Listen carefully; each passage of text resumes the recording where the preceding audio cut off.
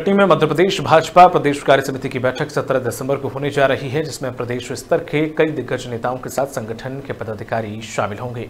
कार्यक्रम सफलतापूर्वक करवाना भाजपा नेताओं और जनप्रतिनिधियों के लिए एक चुनौती भी कही जा सकती है। वहीं जिला कलेक्टर, पुलिस अधीक्षक और निगम प्रशासन और विभागीय अधिकारियों ने कार्यक्रम स्थल का निरीक्षण किया और सुरक्षा व्यवस्थाओं का जायजा लिया। साथ ही वीवीआईपी के लिए सुरक्षा पुख्ता करने के निर्देश दिए। बता दें कि भाजपा प्रदेश अध्यक्ष विष्णु दत्त शर्मा का निर्वाचन संसदीय क्षेत्र कटनी है और पहली बार प्रदेश कार्य समिति की बैठक कटनी ज़िले में होने जा रही है।